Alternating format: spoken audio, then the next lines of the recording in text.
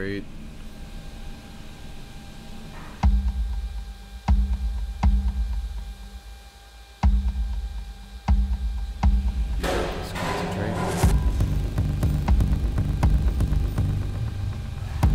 Is what you're seeing real? That depends on your definition of real. As a magician, I pay my bills with a unique feeling. A feeling you're probably noticing, I don't know, right about now.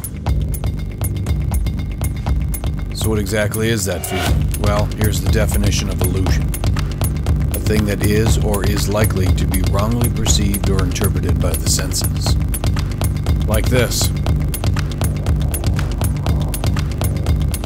You know that with a solid piece of steel that this isn't possible.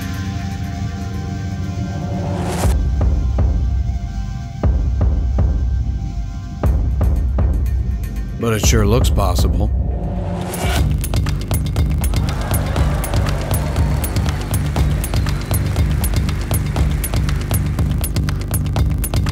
The brain is responsible for processing those things your eyes are now seeing, using memories and experiences to quickly draw conclusions. Aristotle said our senses can be trusted.